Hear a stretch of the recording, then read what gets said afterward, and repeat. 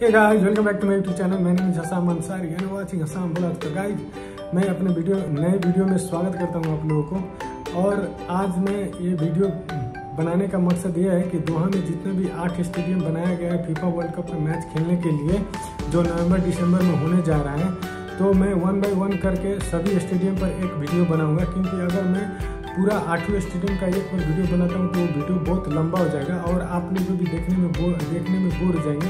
तो इसलिए मैं बनाता हूँ, सोचा कि चलो छोटा छोटा वीडियो बनाते हैं और एक वीडियो में एक ही स्टेडियम को कवर किया जाएगा।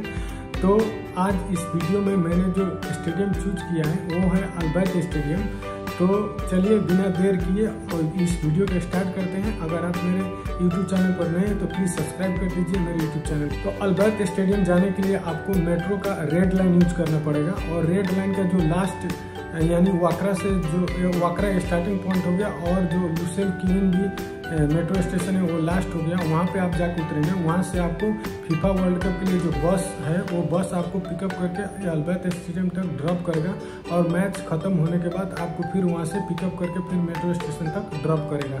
तो आप इसका टेंशन मत लीजिएगा। और जो इसका कैपेसिटी है, वो सिक्सटी थाउज़ेंड कैपेसिटी है। टोटल यानी सिक्सटी थाउज़ेंड आदमी बैठ के मैच एंजॉय कर सकते हैं इस स्टेडियम में। बैत स्टेडियम दोहा से 46 किलोमीटर पर है। बैत का मीनिंग होता है बैत अलसार। बैत अलसार मतलब यहाँ अरबी में कतर में चाहे गल्फ रीजन में पहले एक ट्राइब हुआ करता था, जो एक जगह से दूसरी जगह सिंपली शिफ्ट हो जाता हो जाता था अकॉर्डिंग टू द सिचुएशन क्योंकि उन लोगों के पास पहले परमानेंट घर नहीं होता था। वो टेम्प्रोरी घर बना के रहते थे एक जगह से दूसरे जगह जाने के लिए। तो ये घर आप मेरे स्क्रीन पर देख सकते हैं, जिसे यहाँ पे खेमा बोला जाता है। ये खेमा वो लोग बनाकर उस टाइम रहते थे।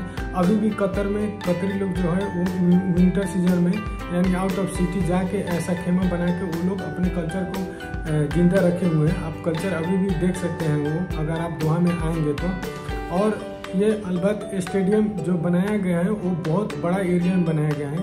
अगर आप अलबत स्टेडियम का एरिया अगर छोड़ देते हैं तो बाकी जो एरिया है, वहाँ पे एक्स्ट्रा थर्टी फुटबॉल पिच और बनाया जा सकता है। और जो जो ये एरिया है, उसको एक ब्यूटीफुल पार्क में कन्वर्ट किया गया है, बहुत ग्रीनिंग पार्क है ये, उसमें कन्वर्ट कर दिया गया है और वहाँ पे छोटा छोटा बहुत सारा प्लेग्राउंड बना गया है, वो पब्लिक के लिए ओपन रहता है और वहाँ पे बहुत सारा एक्टिविटी आप जाके कर सकते हैं लाइक आप जाके वहाँ पे कैमल राइड कर सकते हैं साइकिलिंग कर सकते हैं हॉर्स राइडिंग कर सकते हैं एक्सरसाइज जाके वहाँ पे कर सकते हैं, वो सब फ्री रहता है फ्री है एक्सरसाइज इक्विपमेंट पार्क में लगाया गया, वो सब फ्री है और ये स्टेडियम का ओपनिंग हुआ था नवंबर 30 2021 जहाँ पे मैच खेला गया था फीफा वर्ल्ड क्लब का मैच था, वहाँ पे उस टाइम इस स्टेडियम को ओपनिंग किया गया था।